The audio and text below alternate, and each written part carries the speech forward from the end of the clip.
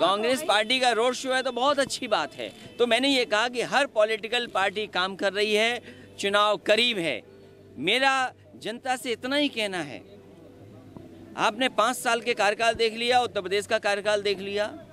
देश को बचाने के लिए संविधान को बचाने के लिए भारतीय जनता पार्टी को हटाने के लिए समाजवादी पार्टी और बहुजन समाज पार्टी ने गठबंधन किया है।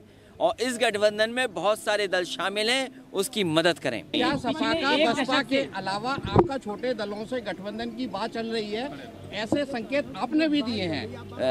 क्योंकि ये गठबंधन बहुजन समाज पार्टी से तो है वहीं आपकी और जानकारी होगी कि कांग्रेस पार्टी भी इसमें शामिल है आरएलडी को भी तीन सीटें दी गई हैं वो भी शामिल हैं और निषाद पार्टी को भी क्योंकि पहले हम चुनाव उनके साथ लड़े हैं पीस पार्टी ने सहयोग किया था तो आने वाले समय में कुछ लोकसभा में हमारे साथ रहेंगे, कुछ विधानसभा में भी हमारे साथ रहेंगे।